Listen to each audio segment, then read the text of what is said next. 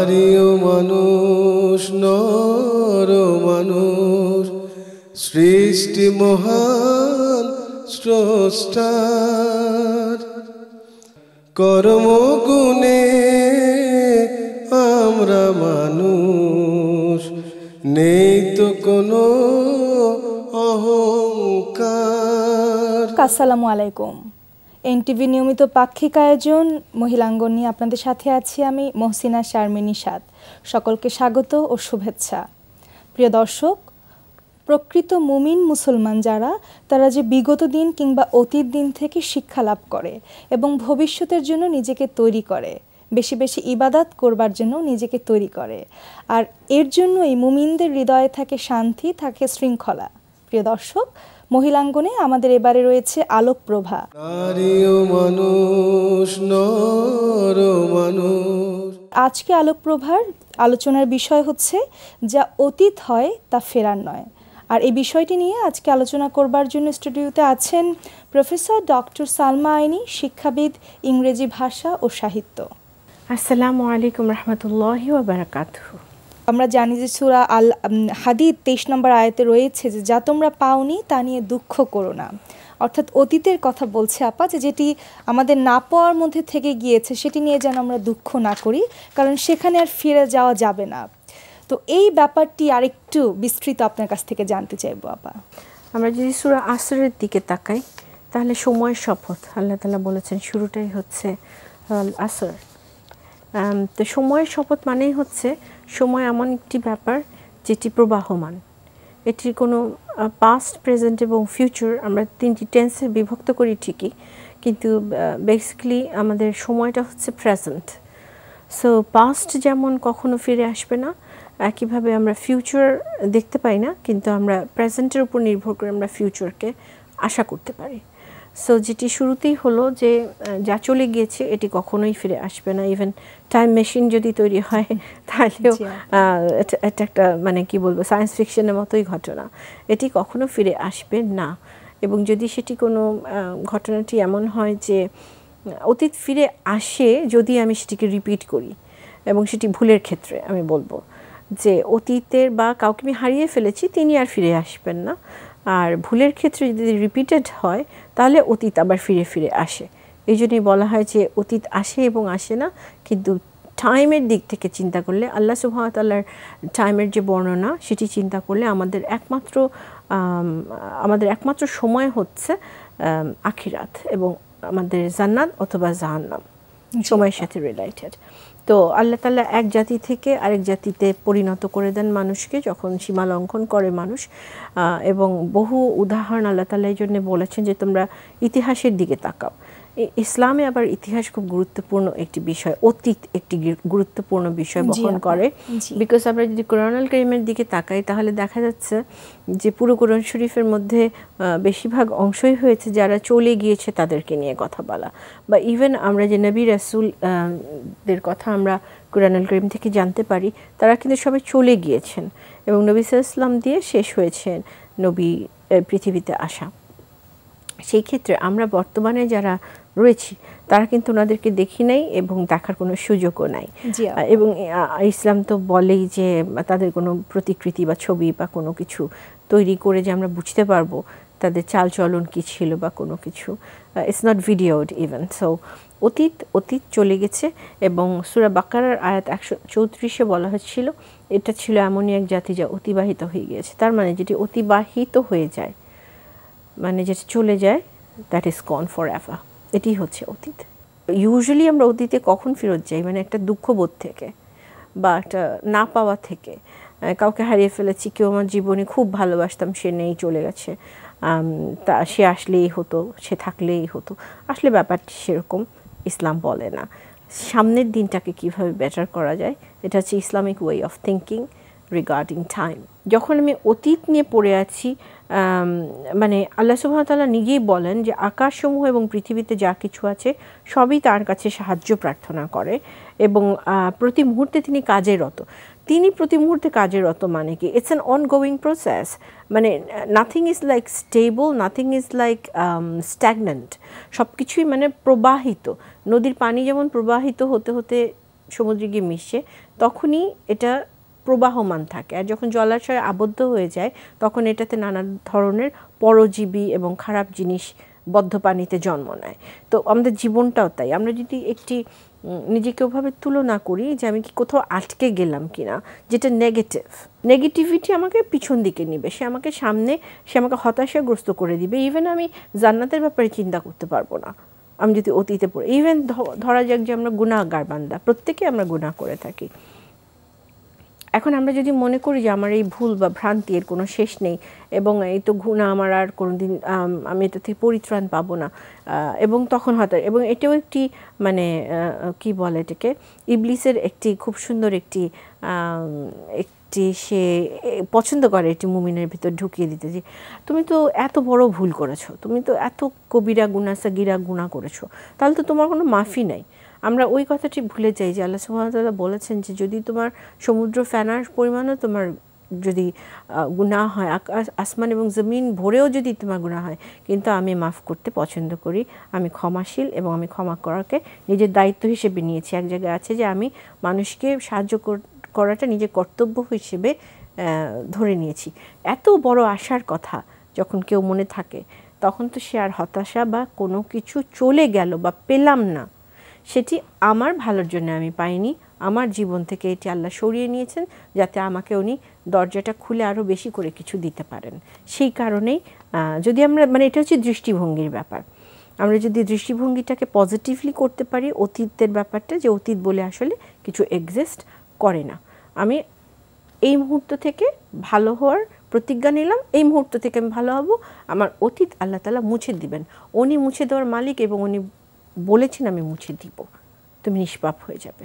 So এটি হচ্ছে হতাশা থেকে উঠে আসার বা অতীতের যন্ত্রণা থেকে বের হয়ে আসার একটি সর্বোত্তম পদ্ধতি যে আমি আল্লাহ তালাকে বিশ্বাস করি উনি আমাকে ভালোবাসেন আমার ভুলভ্রান্তি হয়েছে আমি আর ভুল করব না আমি তবা করেছি আমার জন্য জান্নাত অপেক্ষা করছে।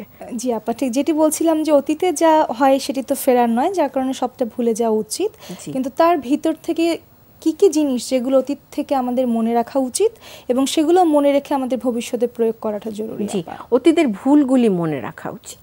জি আপা যে আমি কি কি স্টেপ ভুল করেছিলাম যার কারণে আমি পরবর্তীতে আমার রেজাল্ট যে কোনো হোয়াট এভার ভিডিও একটা অ্যাকশনের রিয়াকশন থাকে। এটা তো আমাদের নিউটন নিউটনের একটি ল হয়ে আছে যে every action has got an equal reaction তো এখন বিষয় হচ্ছে যে আমি যে কাজটি ভুল করেছি বলে আমি জানি, আমি যেটাকে চিহ্নিত করতে পেরেছি, যেটি আমার জীবনের ভুল ছিল, তাহলে আমি এই ভুলটিকে আর রিপিট করব না।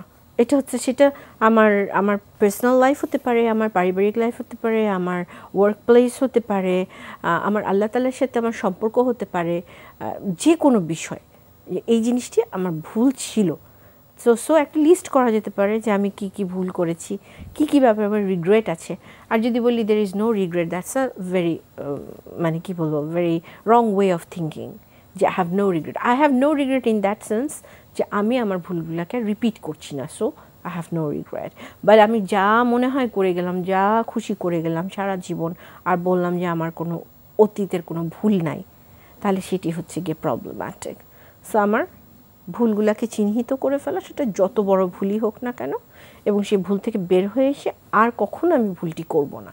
তাহলে আমার জীবনটা আবার একটা স্থিতিশীল অবস্থায় চলে আসার সম্ভাবনা থাকে এবং আনন্দময় হওয়ার সম্ভাবনা থাকে। তো পাই যে অতীত এবং বর্তমান ভবিষ্যৎ নিয়ে যে কথাগুলো বললাম আপা তো সেই জায়গা থেকে আমাদের যারা তরুণ প্রজন্ম রয়েছেন এদের ব্যাপারে আসলে আপার আপনার কোনো সাজেশন আছে কিনা? এবং এই অতীত থেকে শিক্ষা নিয়ে ভবিষ্যৎকে সুন্দর করতে পারে আল্লাহ তালার যে রাস্তা আছে সেখানে যেন নিজেকে নিবেদিত করতে পারে এই বিষয়ে যদি আপনার কোনো পরামর্শ থাকে। এই ব্যাপারে পরামর্শ তো আমাদের তরুণ প্রজন্মকে কি পরামর্শ দিব?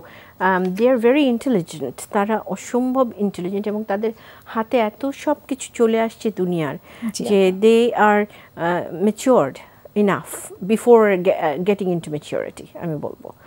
যে আমাদের যেমন ধাপে ধাপে মেচিওরিটিতে গেছি, এনারা কিন্তু অনেক আগেই মেচিওর্ড হওয়ার অনেক কিছু পেয়ে যান ইনগ্রেডিয়েন্টস যদি ওনাদেরকে ভালো দিকে নিয়ে যাওয়া যায় মোটিভেট করা যায় পজিটিভ দিকে, তাহলে ওনারা এত বেশি সফলতা এনে দিবেন যেটি অভাবনীয়।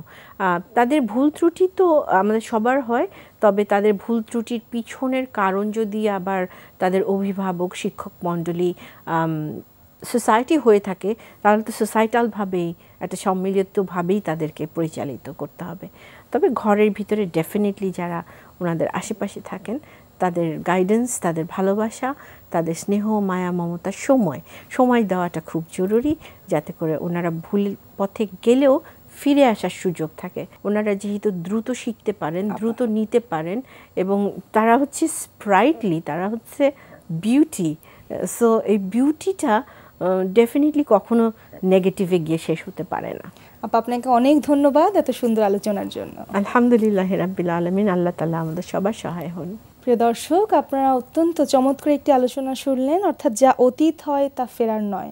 সুতরাং অতীত নিয়ে আমরা খুব বেশি সময় নষ্ট করব না এবং অতীত থেকে আমরা ততটুকুই নিব যতটুকু আমাদের বর্তমান এবং ভবিষ্যৎকে সুন্দর করতে পারে যে চিন্তাগুলো যেই ভুলগুলো সেগুলো নিয়ে আমরা চিন্তা করে নিজেদেরকে সংশোধন করব। মহান আল্লাহ তালা আমাদের সুন্দর ভবিষ্যৎ দান করুন এটি মহান আল্লাহ তালা কবুল করুন আমাদেরকে।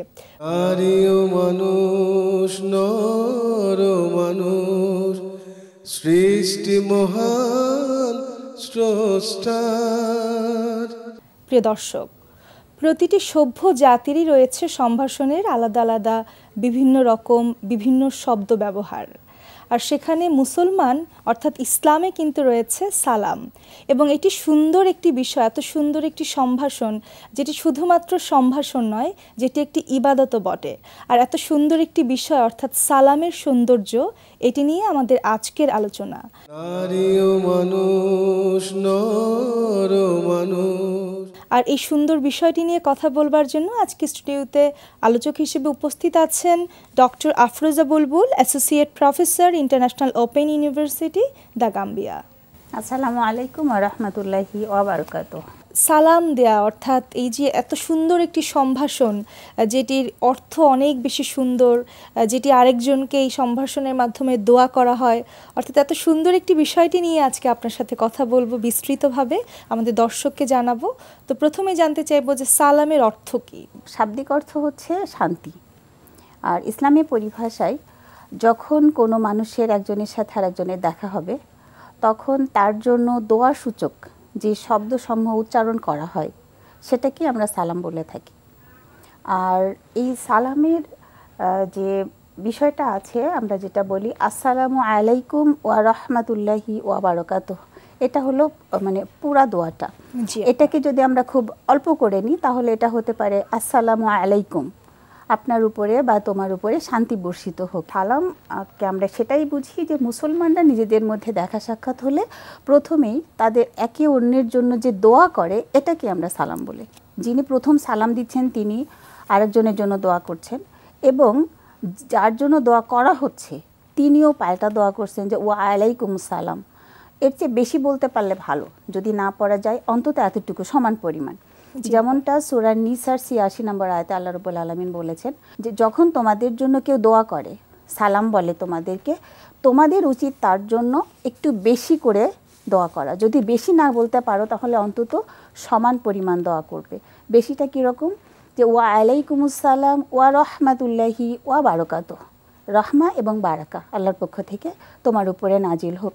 এই যে দোয়াটা আমরা করছি, এতে করে যেটা হয় আমার প্রতি বা সালাম যিনি দিচ্ছেন, তার প্রতি যদি উত্তরদাতার কোনো রাগ, ক্ষোভ, হিংসা যা কিছু থাকে, এই সালামের জবাব দেওয়ার মাধ্যমে কিন্তু অনেকটা মানে রিলিফ হয়ে যায়, প্রশমিত হয়ে যায়। ফলে কেউ যদি মারতেও আসে, আপনি যদি তাকে সালাম বলেন, সে কিন্তু একটু থেমে যাবে। এটা হচ্ছে একটা উপকারিতা যে কেন দিব আমরা। আরেকটা হচ্ছে যে রসুল্লাহ সাল্লাহ আলহিসাল্লাম মুসলিম শরীফে যে হাদিসটা আসছে, সেখানে বর্ণনা করেছেন যে তোমরা পরস্পরের মধ্যে সম্পর্ক বৃদ্ধির জন্য ভালোবাসা বৃদ্ধির জন্য বেশি বেশি সালামের প্রচলন করবে বেশি বেশি সালাম দিবে। তো এখানে আমরা জানি যে রসুল্লাহ সাল্লাহ সাল্লামের সময় সাহাবিরা কীভাবে প্রতিযোগিতা করতেন সালাম দেওয়ার জন্য। যে একটা মোটা গাছের এপাশ ওপাশ থেকে গেলেও একসাথে যখন দেখা হয়েছে ওনারা সালাম দিয়েছেন।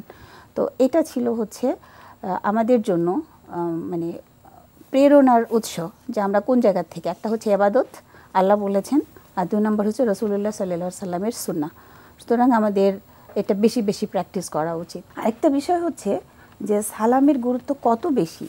নামাজ আমরা যখন শেষ করছি আমি কিসের মাধ্যমে প্রকাশ করি যে আমার নামাজ এখন শেষ? তোমরা আমার সাথে কথা বলতে পারো। সেটা হচ্ছে সালাম। আমি ডান পাশে বলছি আসসালামু আলাইকুম আর রহমতুল্লাহ। বাম পাশে বলছি আসসালামু আলাইকুম ও রহমতুল্লাহ। এটার মাধ্যমে আমি দুনিয়াবাসীকে জানানো দিলাম যে আমার আল্লাহর সাথে কথাবার্তা এখন শেষ। তোমাদের সাথে কথাবার্তা এখন শুরু। তো মানে একটা জিনিস যে আমি একটা আবাদতের মধ্যে ছিলাম সেখান থেকে বাইরে আসছি এখন আমি দুনিয়াবি কথাবার্তা সেটাও সালাম পারি। দিয়ে আমি বিদায় এবং সেটা সালাম সালামের মাধ্যমে আমি এটা জানানো দিচ্ছি। সুতরাং এবাদতের সাথে কিন্তু সালামটা খুব অঙ্গাঙ্গিভাবে জড়িত আমরা দেখতে পাচ্ছি।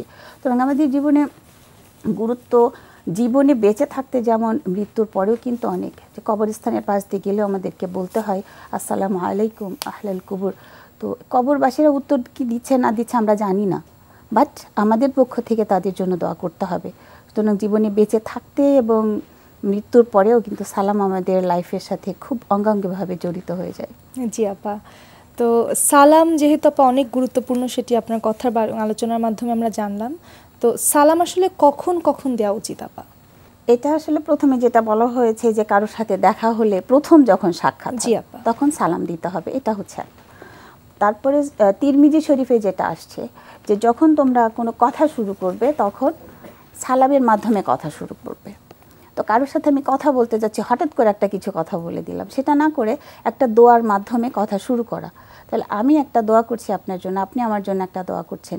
এতে কি হলো? নিজেদের মধ্যে একটা ভালো সম্পর্ক তৈরি হয়ে যাবে। এরপরে আমরা যে কথাবার্তাগুলো বলব সেটা কিন্তু একটা পজিটিভ সাইড নিয়ে আগাবে বা দুজনের মধ্যে একটা স্বাভাবিক সম্পর্ক থাকবে। এটা একটা বোঝা যায়। এরপরে বলা হচ্ছে যে যখন আমরা নিজেদের গৃহে প্রবেশ করব। বাইরের থেকে যখন ঘরে আসছি তখন আমাদেরকে সালাম দিতে বলা হয়েছে যে ঘরে যারা আছে তাদের প্রতি। আবার যদি অন্যদের ঘরে যাই সেখানেও বাই হাকিতে বলা হয়েছে যে অন্যদের ঘরে যখন আমরা যাব তখন প্রথমে সালাম দিতে হবে ঘরের বাইরে থেকে। সালামের উত্তর না পাওয়া পর্যন্ত আমাদেরকে ধৈর্য ধরে অপেক্ষা করতে হবে। যদি সালামের উত্তর না আসে তাহলে ফিরে আসতে হবে। এটা বলা হয়েছে।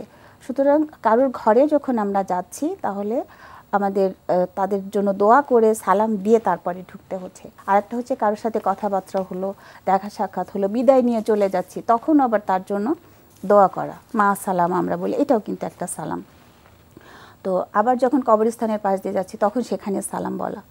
আবার আমি যদি বলি যে আমরা যখন নামাজের মধ্যে তাসাহুদ পড়ি বলি, আসসালামু আলাইনা ও আলা ইবাদিল্লাহি সলেহীন। এটাও কিন্তু একটা সালাম, যে আমরা আমাদের নিজেদের জন্য দোয়া করছি এবং সব সলেহীন বান্দাদের জন্য দোয়া করছি সালামের জন্য। তো বিভিন্ন জায়গায়, আমাদের জীবনের বিভিন্ন জায়গায়, বিভিন্ন স্তরে এরকম সালাম আছে। তাছাড়া দোয়া তো আমরা এমনি যখন পড়ব তখন সবার জন্য সব জায়গায় করব সেটা। জি আপা তারপর ঠিক যেটি বলছিলেন যে সালাম হচ্ছে দুজন মানুষের মধ্যে একটি সুন্দর সম্পর্ক তৈরি করার একটি উত্তম পন্থা। তো এই সালাম দেওয়ার সঠিক নিয়মটি আসলে কি হওয়া উচিত? এবং আমরা জানি যে আজকে আমাদের দর্শক রয়েছেন, আমাদের প্রত্যেকের ঘরে ছোট ছোট শিশু সন্তান রয়েছে, যারা আমরা যখন সঠিকভাবে সালাম দিব, আদান প্রদান করব, তারা কিন্তু এগুলো শিখে ঠিক, তারাও কিন্তু এই কাজগুলো করবে এবং ছোটবেলা থেকেই শিখবে। তারপর সঠিক নিয়মটি জানতে চাইছি। জি আপা এটা অনেক ভালো প্রশ্ন করেছেন। বিশেষ করে আমাদের যারা ইয়াং জেনারেশন এদের যে সালাম দেওয়ার স্টাইল এরা স্টাইল ফলো করে, এরা কিন্তু সুন্না বা মানে সঠিক নিয়ম আমরা ফলো করি না। এটা হয়তো জন্য সঠিকতা তারা বুঝতে পারে এটা আমাদের জন্য কিন্তু ব্যর্থতা। আমি তাদের দোষ দিচ্ছি না এটা হচ্ছে আমাদের ব্যর্থতা যারা আমরা পিতামাতা জানাতে পারি না তাদের ব্যর্থতা। এটা একটা অ্যারাবিক শব্দগুলো তাই না? তো প্রত্যেকটা ভাষার নিজস্ব উচ্চারণ ভঙ্গি আছে। এবং শব্দগুলো যদি আমরা ঠিকমতো উচ্চারণ না করি তাহলে শব্দের যে পার্থক্য হয় মিনিং অর্থের যে পার্থক্য হয় এটা কিন্তু মারাত্মক হতে পারে। জি মানে একটা জিনিস ভালো থেকে অনেক খারাপ হয়ে যেতে পারে। সালামও কিন্তু ঠিক একই রকমের একটা জিনিস। এখানে যে অক্ষরগুলো যে উচ্চারণের নিয়মগুলো এখানে আছে এটা যদি সঠিকভাবে আমরা না মেনে বলি তাহলে এটা সালামের পরিবর্তে অন্য কিছু হয়ে যাবে। জি আপা। দোয়ার পরিবর্তে বদোয়া হয়ে যাবে এরকম হবে। সুতরাং সঠিকভাবে যেটা আমরা জানি যে আসসালামু আলাইকুম ওয়া রাহমাতুল্লাহ এটা হচ্ছে প্রথম সালাম। উত্তর যখন দিচ্ছি ওয়া আলাইকুম সালাম ওয়া রাহমাতুল্লাহ ওয়া বারাকা আমি যদি ভেঙে ভেঙে বলি তাহলে এরকম। যদি একসাথে বলি ওয়া আলাইকুম সালাম ওয়া রাহমাতুল্লাহি ওয়া বারাকাতুহ এটা আমি আমার পছন্দ মতো বলতে পারি। কিন্তু যেটা আমি বলব স্পষ্ট শুদ্ধ এবং সঠিকভাবে বলতে হবে। সালাম আলাইকুম এটা কোনো সালাম না। জি আপা। এরকম অনেকে বলে। কিংবা মাথা ঝুঁকিয়ে শুধু উত্তর দেয়া। এটাও কিন্তু নিয়ম নাই। এটা বলা হয়েছে তোমাকে যেভাবে সালাম দেওয়া হয় ঠিক সেভাবে উত্তর দিবে। সুতরাং যখন সালাম কেউ শব্দ করে সুন্দর করে বলছে আমাকে ঠিক সেভাবে উত্তর দিতে হবে। তবে আমাদের আমি আমার দর্শকদের মধ্যে যারা পিতামাতা আছে যারা গার্জিয়ান আছে তাদের জন্য আমার একটা খুব বিনীত অনুরোধ থাকবে যে সন্তানদেরকে সঠিকভাবে সুন্দরভাবে সালাম দিতে শেখাবেন নিজেরা সুন্দর মতো দিবেন এবং তাদেরকে শেখাবেন। অনেক সময় আমরা যখন সঠিকভাবে কেউ সালাম দেয় তাদেরকে নিয়ে হাসাহাসি করি। এটা কিন্তু আমাদের জন্য লজ্জা ছাড়া আর কিছু না।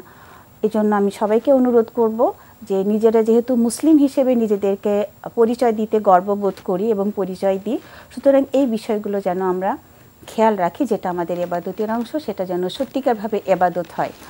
আপা আপা আপনাকে অনেক ধন্যবাদ এত সুন্দর আলোচনার জন্য। ধন্যবাদ। প্রিয় দর্শক, আমরা অনুষ্ঠানের একেবারেই শেষ পর্যায়ে চলে এসেছি এবং আমরা আজকের আলোচনার মাধ্যমে জানলাম যে মুসলমানদের এত সুন্দর একটি সম্ভাষণ, এত সুন্দর একটি দোয়া আমাদের রয়েছে যে আমরা যখন দুজন দুজনের সঙ্গে দেখা হবে ঘরে বাইরে কিংবা প্রত্যেকে প্রত্যেকের সাথে আমরা যে কোনো আলোচনার পূর্বে কিংবা যে কোনো সময় আমরা নিজেদের মধ্যে সুন্দর আলোচনা শুরু এবং শেষ এই সুন্দর দোয়াটির মাধ্যমে করতে পারি। অর্থাৎ আসসালামু আলাইকুম। প্রিয় দর্শক, আমাদের অনুষ্ঠানের একেবারেই শেষ পর্যায়ে চলে এসেছি।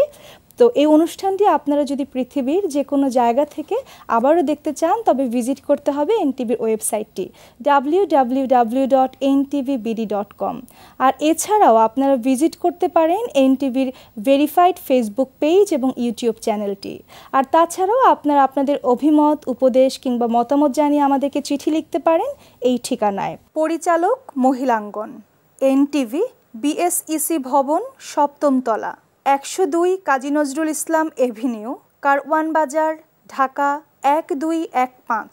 প্রিয় দর্শক মহান আল্লাহ তালা আমাদের সকলকে সুস্থ রাখুন সুন্দর রাখুন শান্তিতে রাখুন। আসসালামু আলাইকুম। সৃষ্টি মহান স্রষ্টার কর্মগুণে আমরা মানুষ নেই তো কোনো